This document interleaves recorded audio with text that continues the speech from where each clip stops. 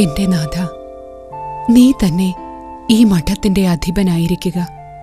ഇവിടെ ഇരുന്ന് നീ തന്നെ ഭരണം നടത്തുക. ഞാൻ നിന്റെ ദാസിയാണ്.